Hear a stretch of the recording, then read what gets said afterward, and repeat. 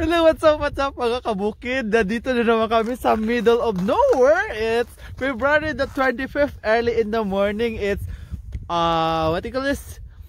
Minus 17! And we're here catching Aurora Borealis again. So we have some good shots for now at this time. Oh my gosh, ang kawig. So ito po yung mga larawan na nakukuha ko during the Aurora hunting. It's around ano like between 12.30 in the morning to 2.30 in the morning so yeah super dark siya pero maganda yung camera ang ginamit ko kaya nakakakuha ako ng magandang picture Woo! o oh, nagdedrain yung battery ko ayan so ngayon may magagandang may magagandang view ako nakukuha Woo! Wait.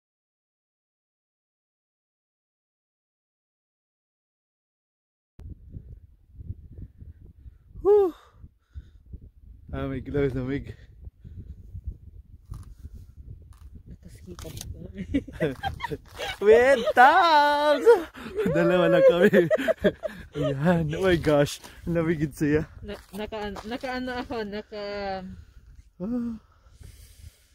oh my gosh. Ayan oh, nag-green siya. Woo!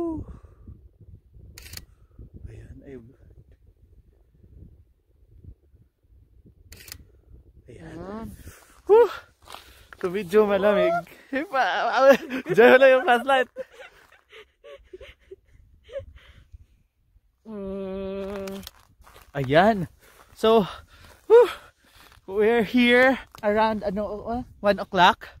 So ngayon, it's, ay, It's oh. bedtime! oh my gosh, it's too cold. It, last time it's minus 14. Ngayon it's minus 17 talaga bukas evening ako. Oh shit. Oh. Ayan siya si Aurora oh. Ayan. Oh my gosh, nakikinig yung kaway ko. Nagde-drain yung battery ko sa dami. May isa kang battery? Oh, mayroon. Ayan na si Aurora. Ayan, very good. Good. Oh, sige.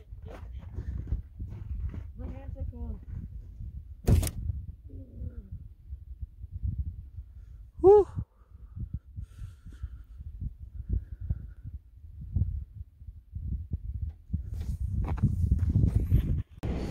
what's up, what's up? So, nandito na naman kami. Na-addict lang sa Aurora. So, the forecast today is like 20% visible in our area. So, I'm here in about 12 kilometer from outside north of Regina. Like 12 kilometer outside from my place. So uh, I have with me is Tabs. Hi Tabs! Ayan. So ayan. So may mga uh, konting nakikita kami mga uh, northern lights. And dyan banda nakikita nyo yon yon yung city of Regina so nakikita nyo mga light mga lights. And so pasok muna sa kotse na naman kasi medyo mas malabig ngayon compare last time.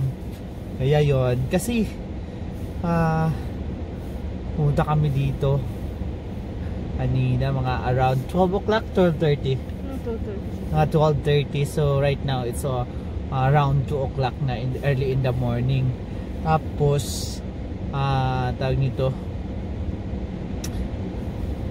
uh, ano lang sana namin check lang like 30 minutes but still when I click my camera ayun may nakikita ka akong mga uh, kulay-kulay na northern lights. So we stay here until 2 o'clock. And then we shoot more pictures. So I gonna try to insert again yung mga kuha kong mga northern lights. Ayan. So northern lights or aurora aurora borealis Ayan, shoutout sa kay Ilonggong Hamog kag kay Boy Sabon TV. si Boy Boy yun, may YouTube. Sino? Si Boy Boy. Ano pangalan ng YouTube niya? Uh, Boy Sabon TV. Hi Boy, wala kang kaupod. Siya Siya ba yun? Yeah. So ayan, nagpapa-warm up muna kami sa kotse kasi medyo.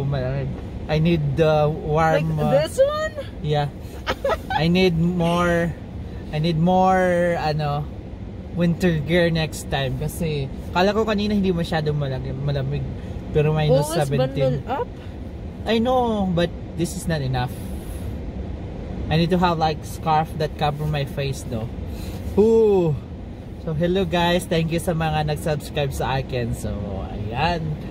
Uh, yan. So I need to check it again. Ayan. So ano na.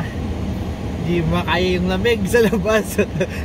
Kaya kumukuha lang ako ng ilang pictures. Tapos yan, nanginginig na yung, yung kamay ko nagsubra. Tsaka parang alam mo yung lamig sobrang nag-absorb sa balat mo. Yung mukha ko ano, frozen. Pati puso ng lamig. yung puso na ng lamig. May hugot. Ano na. Kaya mo ni Ura sa alas dos nun sa kagahon. Kundi ito pinagalagaw. Ari sa katuma sa farm ni. Tags. Ari sa katuma na katubuhan. Nangita sa Aurora. Naamo na ako di. Babae ang kinahunting. Si Aurora ay ako kinahanting. Kundi ito na kami kakanto. Ayan mo, we are, ano, ano tawag sini, 14 kilometer away from Regina, Saskatchewan para lang makita si Aurora pero ang lamig. Hindi kaya ng ano, ng gloves. Kahit may Ang hirap gloves na. abutin sa Aurora. Malamig ang puso. Wow, yung got yung kasama pa dito. Kahit may gloves na, malamig pa rin yung kamay ko. Na Kaya pa hindi nag-warm up yung kotse kasi inopen yung window. So ito kasama ko. Ay, lamig, lamig talaga. As in. San banda? Saan banda doon? so yung forecast kasi ngayon is uh, northwest, ah northeast Hindi, or san banda malamig. sa mukha ko. Kaya Yung namumula. puso niya daw, nanlalamig. Masaway ito, hugot na hugot. Live here in Regina, Saskatchewan! Naantok eh. So yeah, ayun na naman, may sipon na naman ako. Kikita na naman sa video. Yung videographer niya. May ginasipon, ginasipon. Ginasipon Yung, sa yung lamig. vlogger na uhugin. Ginasipon kami dire ka pagita kay Aurora. Dapat palitan mo ang ano eh, pangalan ng vlog mo. Ano? Uh, uhugin. Uh, Aurora Hunters. Ganon. Hindi. Ang wala na, sakto na na siya kay kung ano, bakon ng balalang niya sang ako niya, iloy ko di ay kagakanto, alas dos sa kagahon. Sigaton niya kami bit-bit yung stick. Hindi, may wit-wit nga silhig. Silhig. Katunto sa imo. Ay, nga ka- na sa kawayan ah. Di ka mo nagkalanto, anong oras na? Tapos ang una, gagi ka pa sa bintana. Wala. Lampat sa bintana. No? Ah, pero wala, joke lang. Ang iba niya gagi sa bintana para lang makagadisko. Amon niya, ah, gagi sa may, gagi kami sa mayo nga pertahan para lang mangita sang aurora. Sa Aurora. backdoor kaya nagagi. ha? Sa backdoor. Ay, sa side door ako para hindi halata. sa side door ako nag-agi, gali para hindi halata. Di, istoryana halata na yun. Dito mo po picture. Aurora. Eh, Aurora na nagtana eh. Eh. Pero nasunog ang bilog kasi ito eh. Oh, may Yun. sunog no, may sunog. Kita nyo na. Ay, sus. Ay, blurred. Na recording, not views. Yan, ang kasama ko ay naantok na. Ganon kami mga Ilonggo, magtagalog. Kolang oy. kami, ganon kami. Kaya wag kayong masyadong magalit kasi yung mga Ilonggo magalit. Ganon pa rin. Malambing daw kami pag magalit. Manguha kami dito ng aurora kaso ang bulan wala gitana nagaano ah wala gitana nagapanagot sa clouds para makaka-capture kami sa manami nga ano nga aurora.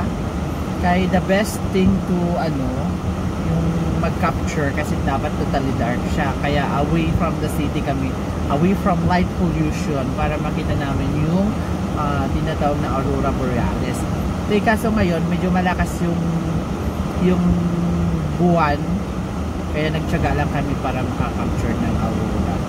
So tingnan ko ulit ngayon kung mayroon kasi aalis kami in few minutes oh my goodness Woo! it's getting nicer now. It's the 2.30 in the early in the morning. We have some nice picture with Aurora Borealis. So, I'll show you guys some of our picture. Totally ano, hindi, hindi ko na maramdaman yung kamay ko as in, napaprusen daw kasi yung mukha ko. Huh, Nag-icing na yung ano, yung camera stand. Nakikita mo na yung ano, yung... Yung icicles? Yo, Asbestos.